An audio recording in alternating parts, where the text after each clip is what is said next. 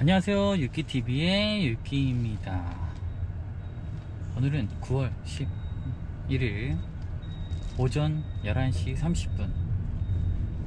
여기는 평택이고요. 제가 일을 마치고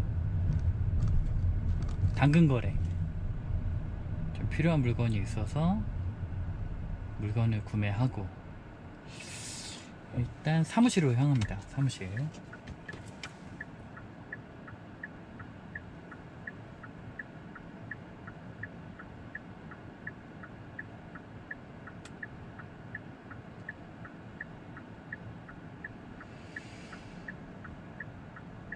약간 문구 서랍장 같은 걸 제가 구매를 했거든요. 원래는 그 아크릴로 이렇게 그 담을 수 있는 음 케이스 같은 거를 만들려고 했어요. 제작. 좀 더 있어 보이잖아요. 어, 여기 신호등이 세로네? 원래 가루가 있잖아요. 가루가 있으면서 세로가 있으면 모르겠는데 세로만 있네. 신기하게. 아무튼 그래가지고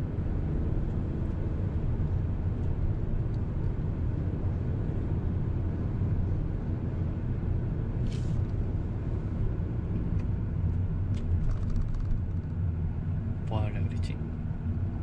그랬는데 이거 만들려면 도면도 만들어야 되고 자 갑시다. 도면도 만들어야 되고 본드 칠도 해야 되고 뭐 그러다 보면 재료비가 재료비도 만만치 않게 들어가거든요. 재료비가 15,000원 2만원 들어갈 것 같아요. 그리고 제 시간이 들어가죠. 그렇게 생각하니까 어 그냥 조그마한 서랍장 같은 거 하나 있으면 좋겠다 싶어가지고 원래 다이소 같은 데 가서 살려고 했는데 했으나 또새거 사는 것보다 어차피 뭐 새 거 중고가 중요한가요? 그래서 중고로 알아보다가 이제 찾게 된 거죠. 찾게 되면서 구매를 하게 됐습니다. 10칸이에요. 3칸, 3칸, 2칸, 2칸. 10칸. 보시죠. 서랍장이. 아이고. 어? 뭐야? 안 빠져? 이렇게. 이렇게 생겼어요. 이 정도면은 충분히, 충분하죠. 플리마켓 할 때 게임 알이 있는데, 그게 이제 만들어서 이게 작은 거고 이거에 1.5배 되는 칸이 또 있습니다 그래서 고민 중이에요 색깔별로 딱 넣고 남은 칸은 뭐 설명서를 넣어도 되고 설명서를 넣어도 와 너무 잘 안성맞춤 입니다. 자, 저는 12시, 12시인데 사무실 도착 시간이 12시인데 12시에 도착해서 아, 오늘은 와이프 일 출근을 1시쯤 할 것 같아요. 그러면 50분이 시간이 있는 건데 그 중에 밥 먹느라고 30분 쓸 것 같고 20분 남는데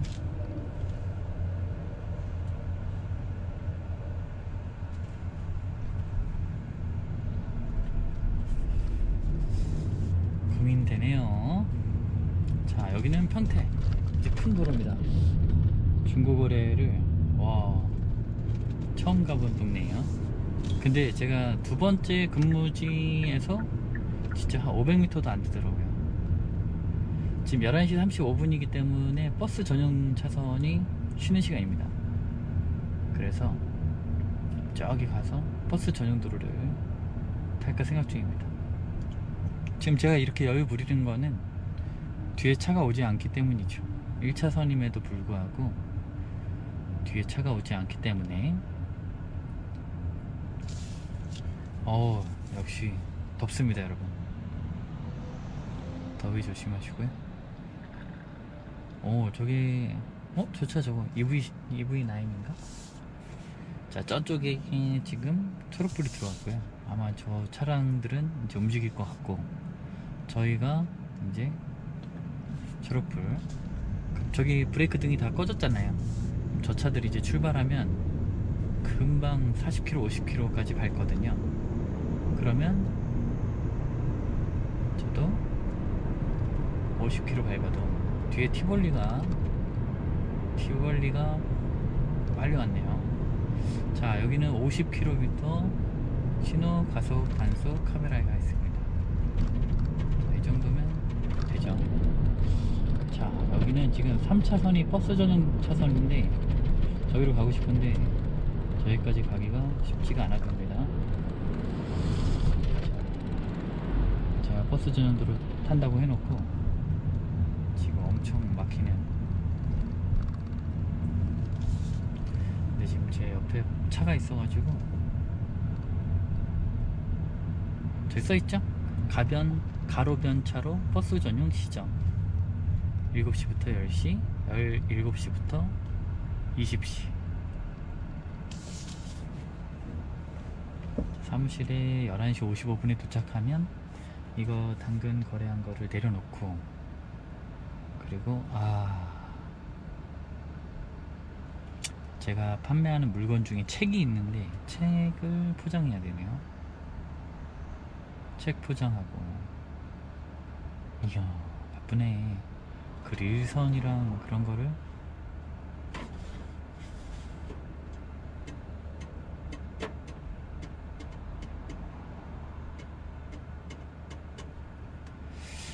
그리고 옥상에서 캠핑 캠프파이 캠핑을 했죠. 하고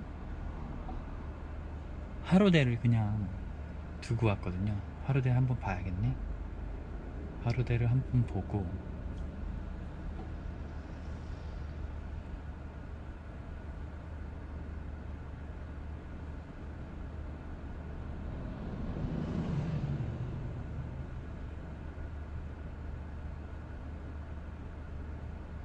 그렇게 해야 할 것 같습니다.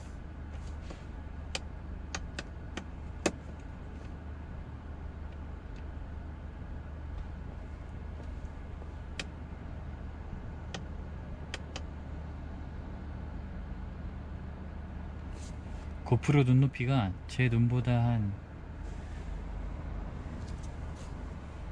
한 5cm 정도 높거든요. 앞이고, 아, 앞으로 높고. 그러니까 사이드 미러가 여러분들 보기 편하라고 제가 이렇게 했지만 저한테는 좀 높은 상황이에요. 높지만 그 정도 불편함은 음, 여러분 영상을 위해서라면 인내할 수 있죠. 감내.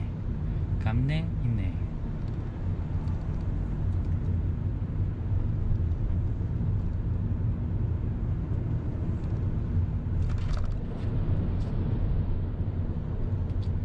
아, 연비 얘기를 해야 되는데 제가요.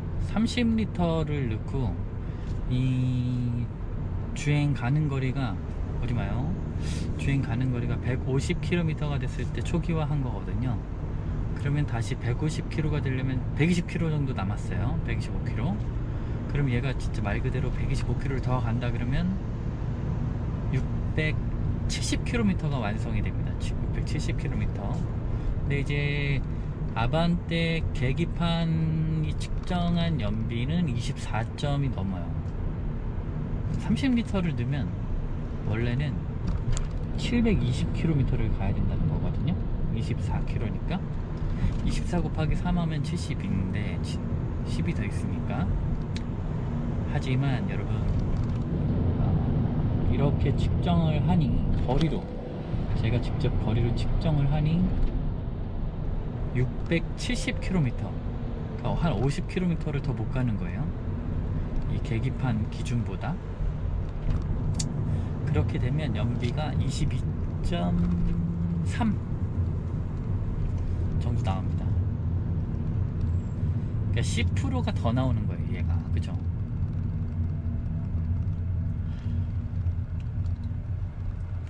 이게 괜히 알게 돼서 또 별로 그렇게 되는 건데 아무튼 연비가 22km 되는 걸로 나오 보입니다. 그러니까 아반떼 연비는 하이브리드의 연비는 22km다. 이렇게 생각하시면 될 것 같아요. 자, 오늘 날씨가 더워요. 외부 온도 31도, 31도. 그렇습니다.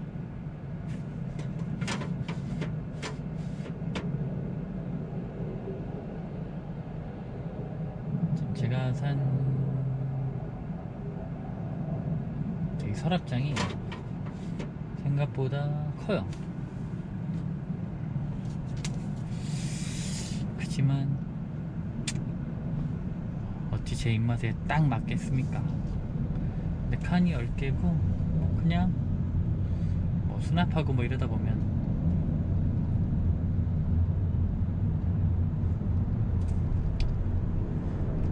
다 알을 막 그 봉다리에 담아가지고 한 열, 열 뭉치 이렇게 담고 막 그랬거든요. 근데 이- 이걸로 하면 이거 하나 들면 딱 끝나니까 세트로. 좋지요, 좋지요, 좋지요.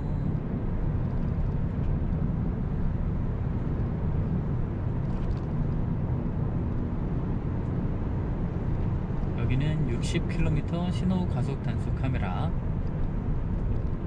저는 웬만하면 한 5, 60km 이상 밟게 되면 두 손으로 운전을 합니다. 한 손으로 하려고 하면 좀 전에 이제 트럭을 몰았는데 트럭을 몰 때는 기어를 막 이동해 이용해야 되니까. 6단까지 있는데 6단이 제 기준으로 한 60 정도는 돼야 6단이 들어가거든요. 이 소렌토가 일로 들어오고 싶을 것 같은데 타이밍을 타이밍을 놓친 걸로. 아마 전 라이트를 여기서 켜고 끄고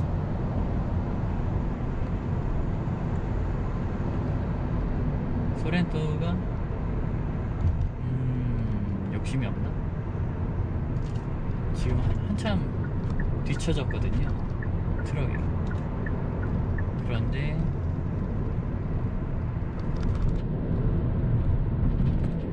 추월을 안 하더라고요. 자 여기는 60km 아 오늘 제가 급감속을 하나 추가했습니다. 다행히 다행스러운 거는 아직 티맵 점수가 100점이라는 거 그게 좀 위안이지만 와 아침에 와. 급감속을 오래간만에 했습니다. 너무 아쉬워요.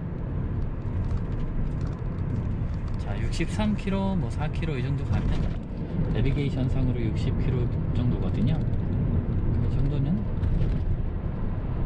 통과 통과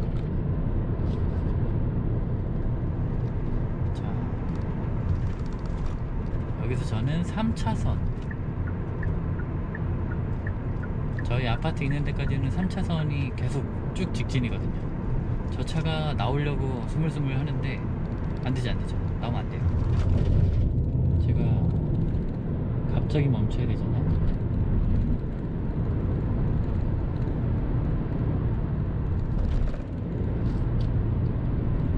여기는 상황을 보면 브레이크를 별로 안 밟잖아요. 그러면 신호등이 초록불이라는 거예요.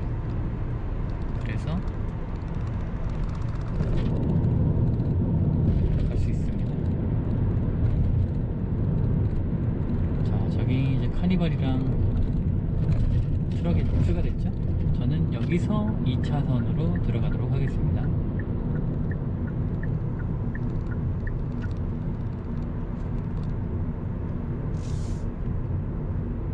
오늘의 연비는 23.4km네요.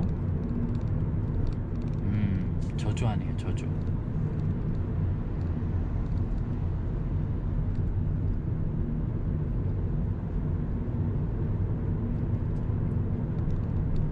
신호등이 노란불입니다.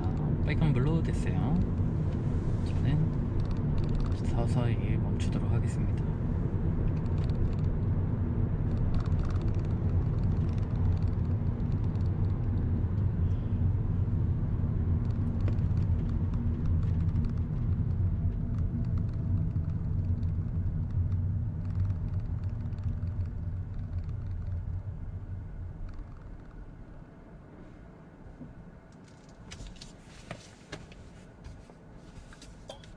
기름값이 1759원 맞죠?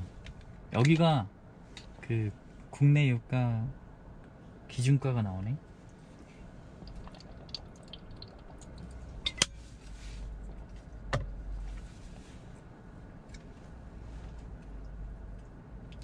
(1759) 이제 아 계속 오르고 있는데 내려갈 기미가 보이질 않아요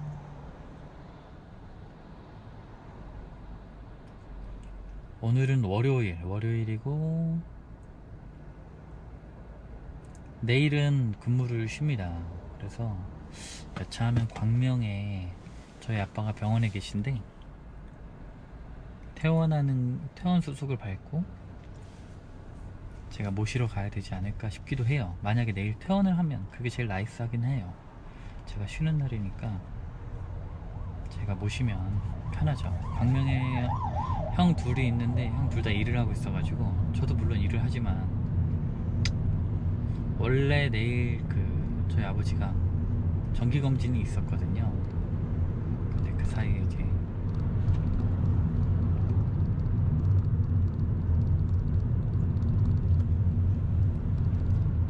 입원을 하셔가지고 그 정기검진 때 하는 내용을 다 병원에서 하고 나오는 것 같아요.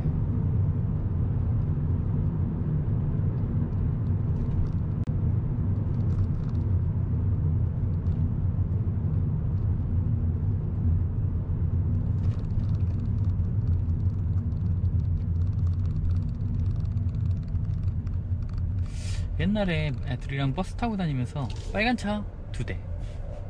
무슨 차 무슨 이렇게 때리고 찾아서 이렇게 하는 그런 게임들이 있었는데 이렇게 비상등을 켜고 제가 비상등만 켜고 들어왔으면 좀 덜 양보했을 것 같아요 근데 좌회전 깜빡이로 바꿨으니까 제가 버스 기사, 운전기사분들한테 좀 못마땅할 때가 있는데 뭐가 있냐면 비상 깜빡이를 켜고 마음대로 운전할 때가 있어요.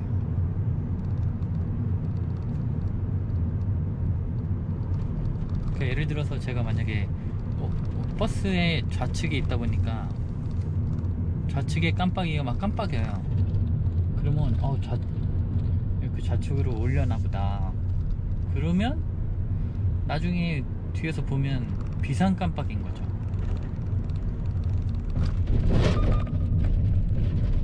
은근히 버스 기사 버스 운전하시는 기사분들 중에 그냥 평상시에도 막 그냥 비상 깜빡이 켜고 좌로 우로 막 이렇게 다니시는 분들이 있어요. 이분은 최소한 그, 그런 분은 아니네요. 아까 비상등에서 딱 비상등을 끄고 좌회전 하셨으니까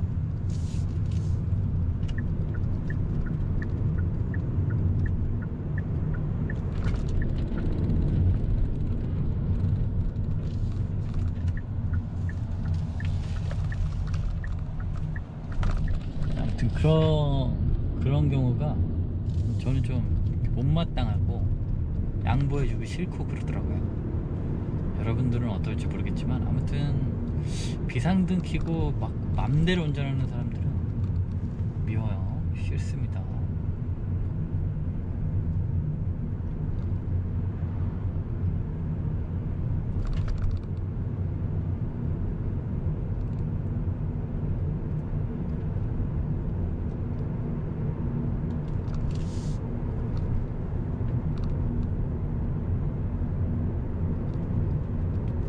오, 이 차가 생각보다 되게 안 달릴 줄 알았는데 좀 달리시네요.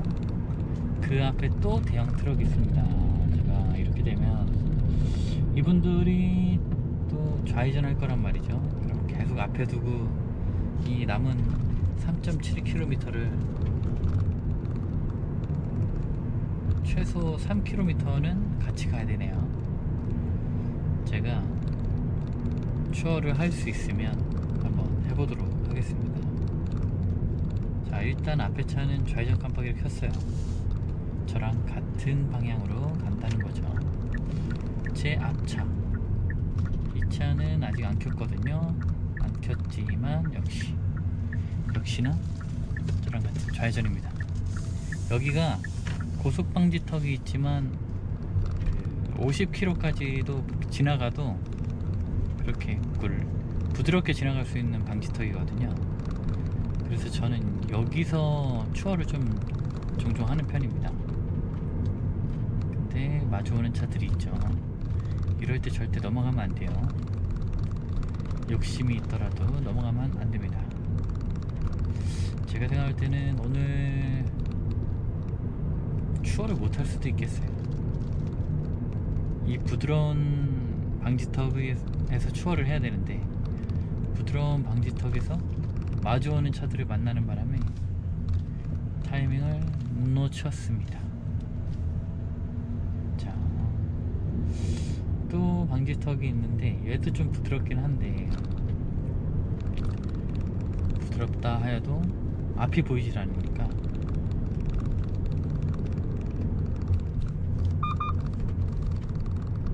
어, 이 띠띠 소리가 진짜 오랜만에 들리네요.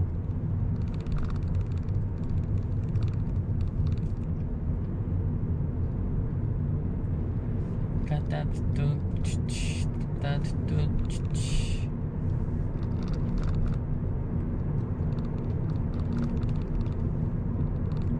한 끼 굶었을 뿐인데 이렇게 제가 여러분 녹음되는 이 목소리가 좀 나른하지 않나요? 왜 처지나 몰라요? 배고파서 처지는 것 같아요. 사무실에 가면 먹을 게 없습니다. 어 저기 무슨 공사를 하네요. 제 차선이 막힌 것 같아요.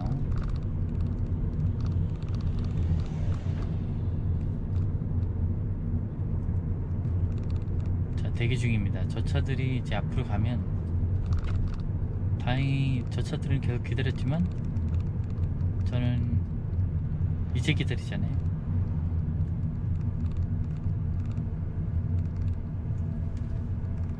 뭔가 덜 기다리는 게 좀 뭔가 이긴 것 같은 모닝이 앞서갑니다. 자, 여기가 생각보다 공사를 자주 하네요 작업을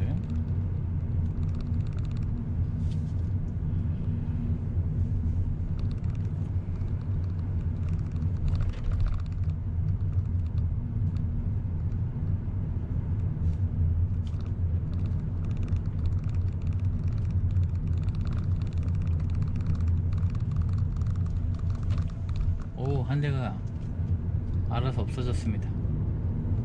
자, 얘는 왜 비상등을 켜는 걸까요?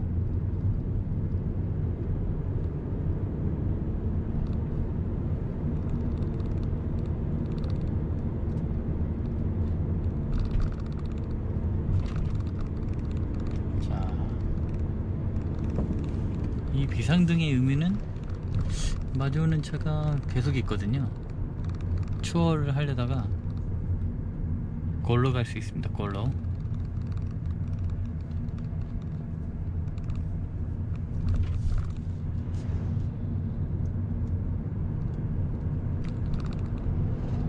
지금도 안 되고요.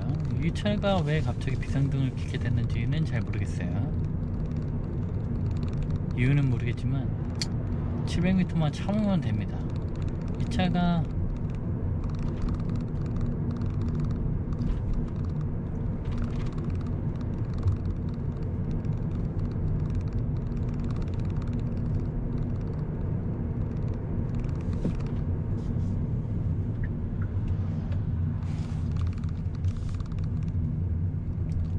오, 제 목소리도 나른하지만 몸도 나른해집니다.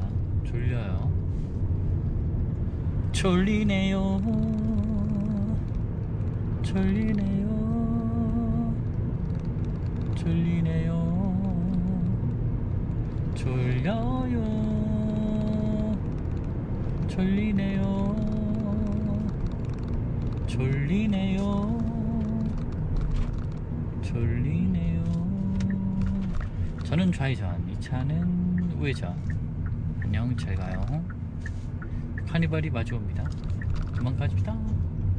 자 이 트럭이 먼저 지나가게끔 하려고 했지만 저도 생각보다 빨리 지나가기에 캐스퍼 캐스퍼 군입니다 캐스퍼 군